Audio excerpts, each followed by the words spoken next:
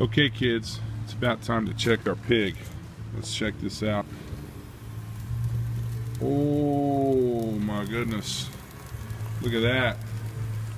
And we got a little rosemary butter and garlic combination here.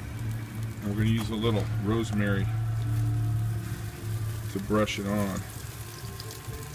Yeah kids, I don't know what you're making for Labor Day, but this is looking pretty tasty, I just want to tell you. Happy Labor Day, man. Happy barbecue.